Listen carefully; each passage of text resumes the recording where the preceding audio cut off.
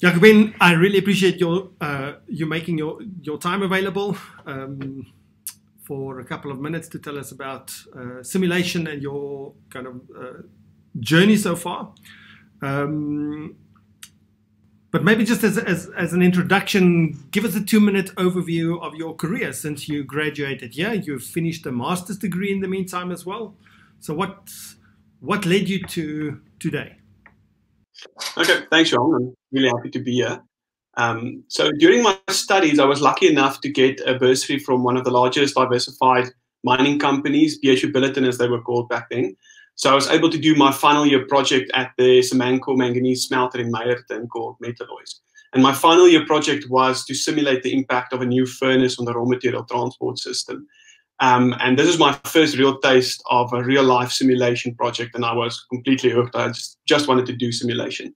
So after my studies, I was lucky enough to go and work with BHP for the next five years. Had a couple of simulation projects. It wasn't my main focus. Um, but I had the opportunity to go and work um, in Australia on three months on probably the biggest supply chain, uh, mining supply chain project that I've ever heard of.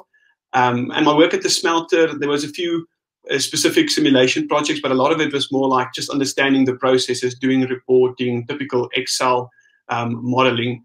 But I got to spend a lot of time on, on the factory floor, understanding how does production work, how does it integrate with maintenance. And I still believe to this day that this is a fundamental requirement for being an engineer, and specifically an industrial engineer, where you typically are slightly more uh, separated from the day-to-day processes on the floor, depending on what industry you're in.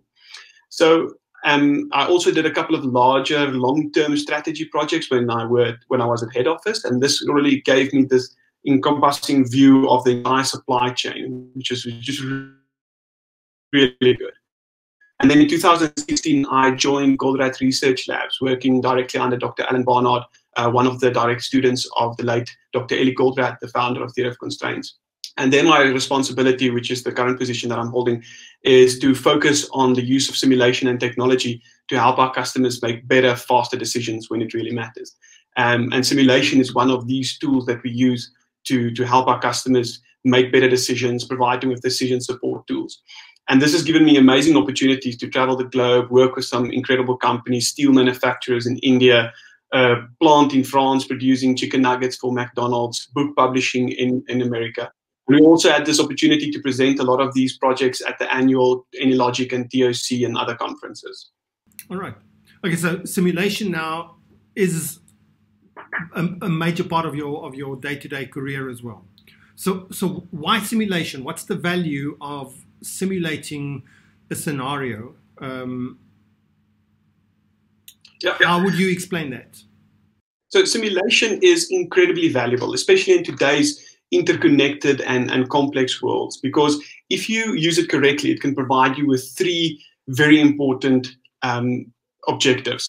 It can consider all the critical system interdependencies, the constraints, the complexities, and, and just the whole interconnectedness of, of systems, which you can't typically do in static support tools like an Excel spreadsheet or an ERP systems.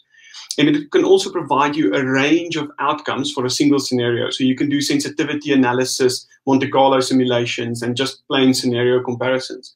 And then probably the biggest benefit of simulation, and you'll hear this word a lot um, if you get into the industry about digital twins, right? You need a low risk, low cost way to test the impact of any change on your system, both on the operational and financial metrics and are normally making these changes in the real world, like building a new furnace or changing your product mix or finding a new distributor, can be really time consuming to see what the eventual impact would be, or it can be too um, costly, or there might even be a risk, a safety risk, or risk to your finances, operational, or even your reputation. And and simulation is able to give you the space where you can test this safely.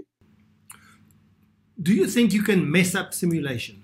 if you uh, kind of if you just know enough to get yourself in trouble in simulation, do, do you have experience of that or kind of stories about where that actually happened? Not necessarily where you were involved, but um, because also uh, think it's important to understand. But simulation is not a silver bullet. One mm-hmm. one can get it wrong. Yes, definitely. And I think like any tool, you need to really understand what it is designed for, what it's used for. And I always like this analogy of saying, if all you have is a hammer, um, every problem looks like a nail, right? So not simulation is not the answer to all your problems. Simulation is time consuming. It is it is costly. You require a lot of in-depth knowledge because if you just simulate at a too high level where your your question or the changes you want to make requires a considerable amount of detail, you will not get the right answer, right? So I think it's one of those tools in your toolbox, and in our toolbox, it's one of the major tools that we're really specialized in. But we also know that for some tools you for some problems you need a different tool right? So we've solved some other problems using just pure data analytics right? I never even open up our simulation tool or AnyLogic. I just open up r and some things is, is easier solved with uh, with a more simple tool even excel for example. So if you use it wrong you can definitely mess it up and i mean if i just look at my models from earlier days where i spent a lot of time doing things you know trying to do the right things but in the wrong way um, you to spend a lot of time and, and wasted probably a lot of time on a very costly solution where you could have done it better or easier in, in another tool even. All right. Just, I mean, in industrial engineering here at the university, we try not to be too prescriptive in terms of, of simulation tools itself. But um, I mean, I, I, know you guys are working in AnyLogic um, as well.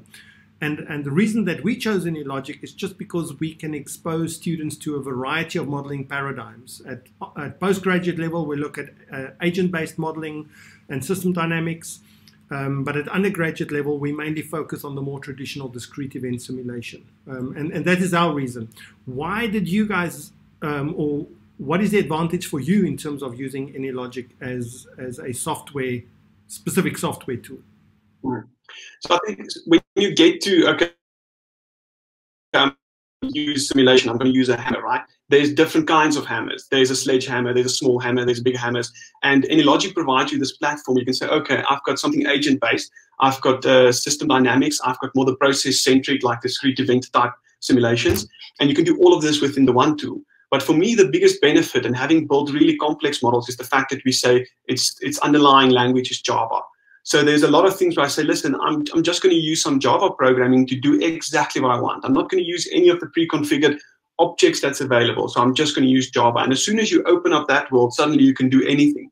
And AnyLogic provides you this nice front end to say, I'm going to write a little program in Java, and I'm just going to hit export, and I'm give it as a standalone app to the to the customer to use where if you want to build a little Java app and you have to do it in Eclipse and you have to export it and you need to compile it and it, it becomes really tricky. So that's another added tool that they don't really always talk about at, at the conferences, but just to say like, you know, it, you can actually just use it to write a little Java program. And then you get the added benefit of saying in AnyLogic, and I mean, we've been using AnyLogic for years now. So we've got our own library. We even have a public library that people can go and buy, and there's a free version to use as well the material design library, which helps you build better looking models. And we've got our own libraries for internal use. We've got a supply chain library. So we get to reuse all the work that we've done in previous projects for the next project. And AnyLogic really makes that a lot easier to do. Cool stuff. So my final question would be, what skills should industrial engineering students and young engineers focus on um, that are not necessarily part of, of the undergraduate curriculum? So, what skills do you wish you had more of when you kind of entered the, the industry or entered your, your current position? No, that's, that's a very good question. And, and the problem with the answer is that thing that I wish I had more of is not something I could readily gain while being a student, and that is people skills, right? So you get to learn all these fantastic analytical things and solution methodologies and even presenting, but when you get to the real life environment, now you have to go and ask somebody for help. You have to ask them, how does this go? How does this work, etc. And the, you can only do that during your undergrad if you start working. So that's why vacation work, your final year projects, all of these things are super important. That while you're still in a safe environment, you can go and make mistakes. You can go and ask people. You can go and, and learn these tools. So that's definitely something that I would say um, is, is something that if you get the opportunity, put your hand up and say, I want to do this project. I want to work with new people. I want to learn something new.